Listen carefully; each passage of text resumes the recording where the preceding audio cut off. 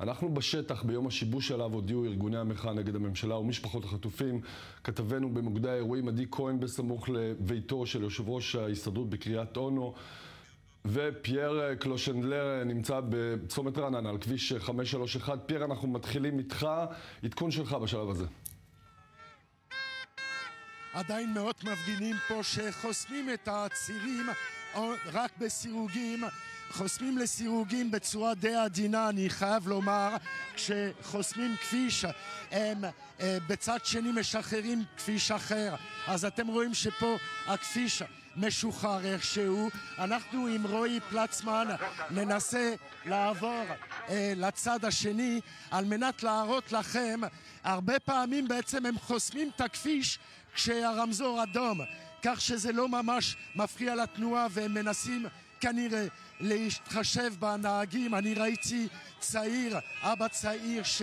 צעק כי הוא אומר שהוא רוצה לבקר את בנו בבית חולים. בקיצור, יש תמיד את הדילמות האלה, והמפגינים מאוד מנסים לנווט בין הרכבים, הצמתים, השוטרים שבדרך כלל לא מתערבים. ינון? פייר, ממה שאתה שומע מהמפגינים אה, ואנשי המחאה, הם מרוצים מכמות האנשים שהגיעו, אה, מאיך שמתנהל עד עכשיו אה, יום השיבוש הזה בשעות הראשונות של הבוקר? אני חושב שזה עוד מוקדם לומר, אבל עדיין יש התגייסות די גדולה על הבוקר.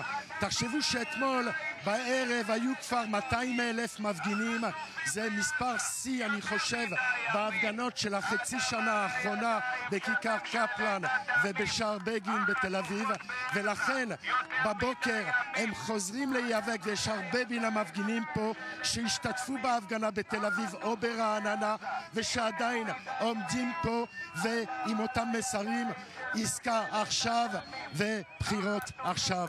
פייר אה, קלושנדלר מכביש 531 אה, אה, מהמחאות נגד הממשלה ובעד עסקת חטופים. תודה רבה לך בשלב הזה. אנחנו רוצים לעדכן אתכם עכשיו עשר ושתי דקות.